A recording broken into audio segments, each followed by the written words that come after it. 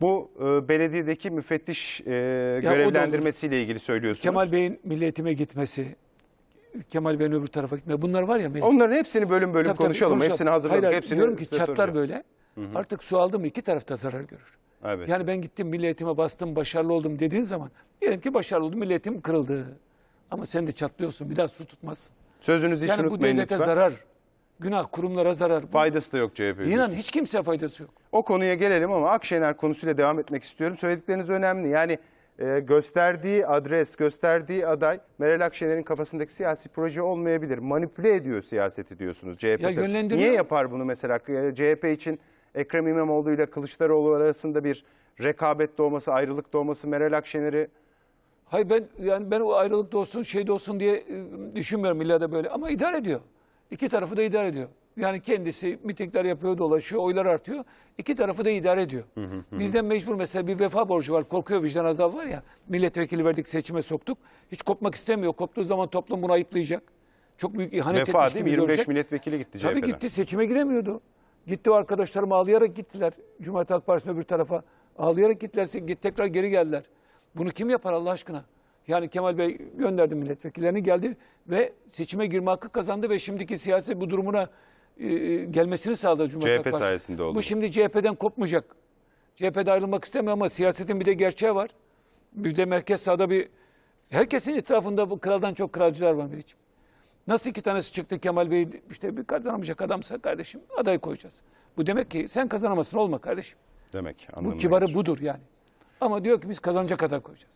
Peki Akşener'in hani bu açıklaması ileride ne yapacağını bilmiyoruz diyorsunuz. 10 Ocak 2018'de de bakın ne söylemişti Meral Akşener. Hazır mı arkadaşlar o videoyu? Ona bir bakalım. İyi Parti'yi Cumhuriyet Halk Partisi ile HDP ile yan yana getirme e, çabası bunu çok çirkin buluyorum.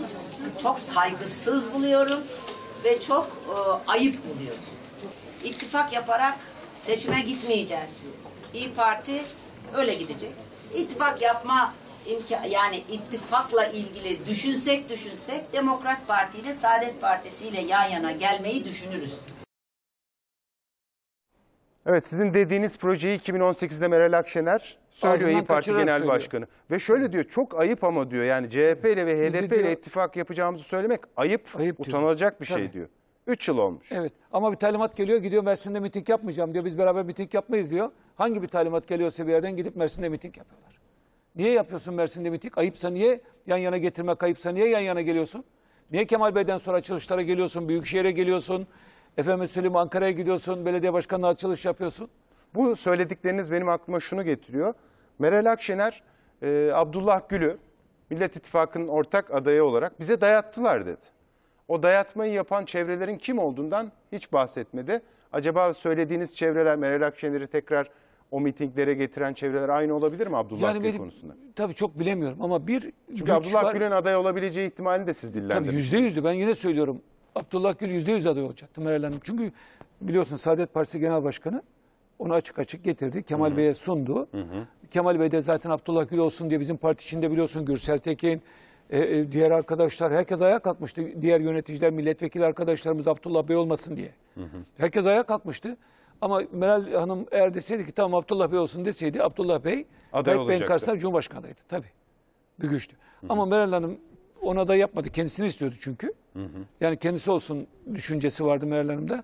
O zaman o da onu istemeyince Muharrem Bey'e kaldı biliyorsunuz olayı. Peki Abdullah Gül konusu geçen programımızda Hatta Muharrem özür dilerim. Muharrem Bey dedi ya biz Abdullah Gül'ün olmamasını Hanım'la beraber sağladık. karar ver, beraber uğraştık sağladık. dedi. Tabii evet. uğraştık dedi. Bizim ikimizin dedi çabasıyla Abdullah Bey aday olmadı dedi. Bu tehlikeyi atlattık dedi. Atlattık dedi evet. Peki hala olacağını düşünüyor musunuz? Geçen programda böyle bir ihtimal olabilir diyordunuz Abdullah Ben Gül. yine yine ben şimdi Kemal Bey'in kafasında daha Abdullah Gül'den vazgeçmediğine inanıyorum. Öyle mi? Tamamen atılmış değil, Değil. Kemal Kılıçdaroğlu'nun kafasında Değil Abdullah ama bu Gül. baskı gelirse alttan da ciddi baskı geliyor. Adaylık günler yaklaştıkça işte Kemal Bey de diyorlar ya aday ol işte ittifaklar beni seçerse aday olurum falan diye söylemeye çalışıyor. Ama bu baskı geldiği müddetçe Abdullah Gül'den kopabilir. Ama benim kafamdaki düşünce Ali Babacan'ın da kafasında, Davutoğlu'nun da kafasında, efeme söyleyeyim Kemal Bey'in de kafasında bu ittifakta bulunan dört partinin kafasında da beş partinin hatta kafasında da şey var. Abdullah Gül bir alternatif Abdullah var. Gül alternatif olarak duruyor da. Ama sırf Meral Hanım burada ona karşı çıkıyor. Yine bu direnç devam ediyor. Ama yarın belli bir güç tekrar Meral Hanım'a kardeşim o Cumhurbaşkanı olsun işte sembolik bir şey dönecek. Biz onun sözünü aldık. Sen de başbakan olacaksın diye bir talimat gelirse razı Ya ben olabilirler. çok diye düşünüyorum. mer- merak ediyorum Mehmet Bey. Yani Ama bu- oy alamaz. CHP tabanı vermez. Kesin ben bu son özür dilerim. Tabii, son tabii. dolaştım bütün her tarafı Melih. Geziyoruz bu arada da biliyorsun. Bu hafta da Ankara'da milletvekili arkadaşlarımızla bir yemek yiyeceğiz, bir toplantı yapacağız. Bir 30-40 kişi kadar. Yani dolaşıyorum ama CHP tabanı gitgide kemikleşiyor. Ekmelettin gibi, Abdullah Gül gibi bir aday. bir adayı kabul etmeyecekler. Kesin kabul etmeyecek. Peki e, Meral Akşener şimdi 3 yıl önce açıklamalarını gördük. CHP ile HDP ile ittifak yapmanın bana bunun söylenmesi bile çok ayıp diyor. Bu süreç içerisinde bu sürekli dile getirilen zaman zaman kendilerinin de ifade ettiği birileri kim neresi bu okyanus ötesi mi yapıyor? Türkiye'nin içerisindeki bir siyaset odağı mı? Hala derin devlet var onlar mı Ya yapıyor? derin devlet Kimdir? değil de bizim biliyorsunuz eee Hatay Belediye Başkanımız demişti ya bizim adaylarımız belirlerken Yurt dışından bir onay almamız onay gerekiyor. almamız gerekiyor. Onay gelecek dedim. Yurt dışı neresi? Okyanus ötesi mi? Amerika Brüksel mi? Amerika dedi ya biz işte iktidar muhalefeti destekleyeceğiz Biden Joe biliyorsunuz. Biden. Yani seçimden önce dedik ama biz demokratik yollarla iktidarı destekleyerek bunu düşünmemiz lazım. Ama bizim içimizden birisi de çıkıp meydan okumadı. Hayır demedi kardeşim otur oturduğun yerde ya sen kimsin? Hükümeti yeneceksen ben yeneceğim. Melih hükümet yeneceksen ben yeneceğim kardeşim. Ben başkasına laf söyletir miyim sana ya? Ya sen benim canımsın. Ben sana laf söylerim, kızarım, küserim, daralırım, azarlarım, bağırırım, çağırırım ama bir başkası laf söylediği zaman söyletmem. Ya söyletir miyiz böyle böyle? Allah aşkına bu son günlerde bak liderler toplantı yapıyorlar değil mi? Evet. Bütün işte yılbaşı toplantısı yapmış Kemal Bey. Biliyorsunuz basında. Öbürü Meral Hanım yapıyor toplantı. Allah aşkına bir tanesinin ağzından şu dolardan başka, enflasyondan başka. Tamam iç meselemiz çok önemli bunlar. Hep de Şu konuşuyoruz dış zaten konu. o. işlerle ilgili etrafımızda ateş çemberi, Yunanistan'da Amerika üst kurmuş binlerce e, tank, Askerini yamış dedi Asker ağaça. yığmış, tanklar, uçaklar, helikopterler. Bu tarafta Mavi Vatan Kıbrıs'a yığıyorlar. Arka tarafta Suriye'de. Bu taraflarda bir tanesi Allah aşkına dış cepheyle ilgili ya. Arkadaş bu konularda da biz e, hazırlık yapıyoruz. Dik durmamız gerekir. Türkiye'nin etrafı ateş çemberi.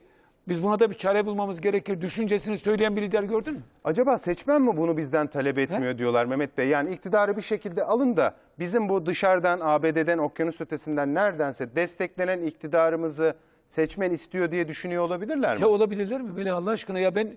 hiç tepki gösteren çok az işte CHP'li Onun için görüyorum diyorum ben. bak CHP değil liderlerin hepsi muhalefet liderlerinin hangisi konuştu Allah aşkına? Karamollaoğlu mu konuştu? Davutoğlu mu konuştu? Çıkıyor işte ben ekonomiyi çok iyi biliyorum diyor Ali Babacan. Biliyoruz ekonomisini bildiğini İngiltere'den getirecek işte biliyorsun tefeci paralarını. Nasıl olduklarını biliyoruz o siyasetin. Öbürünü biliyoruz. Hepsini bir ya yaşadık biz bunların hepsini biliyoruz. Tabii, tabii. Şimdi isim olarak onları kötüleyip de şey yapmak istemiyorum. Biz yaşadık. Herkes biliyor. Sen de biliyorsun. Senin de yaşın 40 ama sen de iyi kötü okuyorsun, çiziyorsun, yazıyorsun, düşünüyorsun. Biliyorsun. Biz de biliyoruz. Biz de yaşadık onlarla. Tabii. Ya bir de bu ülke bizim değil mi Melih? Ya bu dışa- dışarıdan geldiği zaman adam bak silahlanıyor ya. Ya şu şeyin çırpınışını görüyorum Milli Savunma Bakanlığı'nın. Her gün bak dünyaya bir demeç verdi. Hulusi Akar. Adam dayılık söküyor, Türkiye'yi kötülüyor, Türkiye'yi karalıyor. Ya bizim dışlarından konuşan, hadi Kemal Bey'i bıraktım. O büyükelçilerimiz var ya dış politikalara bakan gölge kabine gibi kurduklarımız. Ya birisi çıkıp da laf söylemez mi ya? Gidip Mevlüt Bey gel bakalım kardeş bize bu konuda bilgi ver ya. Ben bunu Bu söylemek Yunanistan zorundayım. Allah demez mi? korumuş yani o adını andığımız büyükelçiler Türkiye'de, hariciyede çalışırken Türkiye'yi Allah korumuş. Azerbaycan operasyon Ya yapılırken düşün yani diyor ki gitti karşı diyor çıkan- teröristleri getirdi diyor Türkiye diyor şeyden diyor İnanamıyorum Suriye'den hakikaten. getirdi diyor ya 26 yıllık o gün konuştuk ya. 26 yıllık esaret altında kalmış Azerbaycan'daki o insanlarımız, soydaşlarımız, yandaşlarımız. Ya ya bu nasıl bir ya bu nasıl bir duygu? Bu nasıl- Ermenistan'la bile şu an ilişkiler normalleşme sürecinde onun gerisine düştüler Ya bu- bazı e, bu- ya- bürokratlarımız, ya, bu nasıl bir düşmanlık? Ben onu söylemeye çalışıyorum. Yani ya biz ya bu ülke bizim hepimizin ya bu zenginlik hepimizin torunlarımızın gidecek başka bir yerimiz yok bizim. Nereye gideceğiz? Benim torunlarım gitmez, çocuklarım da gitmez. Hiç kimse gitmez. Bu ülke bizim. Ya mücadele edersek kazanırız ya. Sen yönetirsin, ben yönetirim. İlla da düşmanlık üzerine ne olursa olsun ben geleceğim, beni seçin, ben ne olursa olsun yıkacağım. Yıkamazsın, gelemezsin. Tekrar gibi olacak ama olmaz. acaba seçmen, CHP seçmeni sizin söylediğiniz bu perspektifi çok mu çok önemsemiyor mu? Yani Yok. Kılıçdaroğlu- Tabanda hiç problem yok. Bizim tabanda bakın biz ama kavga... Kılıçdaroğlu'na bir tepki görmüyorum ben bununla Ya nasıl ilgili. görmüyorsun? Oyda sandıkta göreceksin. Sandıkta göreceğiz. Sandıkta Siz göreceksin. CHP'yi çevrelerini daha yakından Tabii sandıkta göreceksin. Yaşayacağız, göreceğiz bunu. 10 yıl olmuş Melih. 12 yıl olmuş, 13 yıl olmuş ya. Bir seçim kazanamamışız ya. Bu tepki değil mi? Sessiz bir tepki. 12 yıl olmuş. Dedim o gün söyledim Mustafa Kemal'den daha çok kalmış ya. Mustafa Kemal'den daha çok genel başkan olmuş. Eğer kongrede yapmıyoruz. Atatürk 15 Şimdi- yıl kaldı değil mi galiba? E, 28, e, 38, 24, 38 işte 12, 13 yıl galiba Evet. kalmış. Şimdi Kemal Bey 15 yıla geliyor neredeyse. Bu Şimdi kongre de yapmıyoruz. Niye yapmıyoruz? Bugün Gazi Osman Paşa'ya gittim bir cenazemiz vardı Erkan Bey'in. E, oda başkanımızın e, kayınbirader ölmüştü genç esnaf odasının. Gittim orada Başınız ilçe başkanları çocuklar vardı eski arkadaşlar diyor kongre yapmıyoruz abi diyor ya. İki buçuk yıl olmuş artık düşmüş gelenler olmuş giden olmuş seçime gireceğiz ya. İktidara yürüdüğümüz için vakit kaybetmeyelim Ya mi ne diyor alakası Kemal var? Bir 3 3 aylık bir şey mi? 3 ay güçlenerek çıkarsın. Güçlenerek çıkarsın. Tabii Daha çok enerji alırsın. Yorulmuş arkadaşları bir tarafta bırakırsın. Kongre iptal İşi etmek ne demek zaten? Ya Ben yap onu işte anlamış kaçıyor. değilim. Niye kaçıyorsun? Bir başkası aday olsun ne olacak ya? Ama Daha güçlü kazanma çıkarsın ihtimali ya. de partinin tüzüğünü falan her şey ayarlanmış. Ya Tüzükte kazanma, değişiklik kaybetme yapıyorsun. şansı yok ki. Buna Ama rağmen- iller, ilçelerde dirilenecek, genç çocuklar gelecek, yeni insanlar gelecek, yeni umutlar gelecek, yeni hırslar gelecek. Bıkmış insanlar, tükenmiş insanların bir kısmı kenara çekilecek. Ya illa da ben orada kalayım da ama kiminle kalayım seçim kazanamazsın. Seçim örgüt kazanıyor. Cumhuriyet Halk Partisi'nin örgüt de karınca gibidir. Karınca gibidir böyle. Kılcal damarlar gibi işler böyle girer her tarafa. Ama yorulan insanlar varsa yap kongreyi kardeşim. Herkes kongre istiyor. Yap kongreleri başlat. 3 ay sürer ya. 45 gün bir takvim açıklarsın. 3 ay içinde kongre biter. de mi? kan olur seçim öncesi. Ya Taze Olmaz kan mı canım? diyorsunuz. Yeni ilçe başkanı gelir, yeni il başkanı gelir, yeni merkez yürütme kurulu üyeleri gelir. Yeni kadın kolları, gençlik kolları daha çok sarılır. Türkiye yeni bir umut gelir. Yeni bir liderle yeni bir heyecan gelir. Ben kaçırayım, ben olayım. Yeter kardeş oldun ya. Muharrem Bey'in dediği gibi çıktın, yenildin, çıktın, yenildin kardeş yeter ya. Yeter düş başımızdan, düş yakamızdan ya. Düş ya. Gerçekten Türkiye'nin yakasından düş kardeş ya. Yani bu bunu ben düşmanlık için söylemiyorum. Böyle gerçekten Türkiye'nin geleceği için söylüyorum. Eğer Kimse bu sizin ittifak- CHP'ye düşmanlık edeceğinizi ya düşünmez. ittifak ya gerçek eğer e, kurtulmak istiyorsun değil mi bu hükümetten? Kurtulmanın yolu kendini yenilemektir. Seçim kaybeden denenmiş adam denenmez.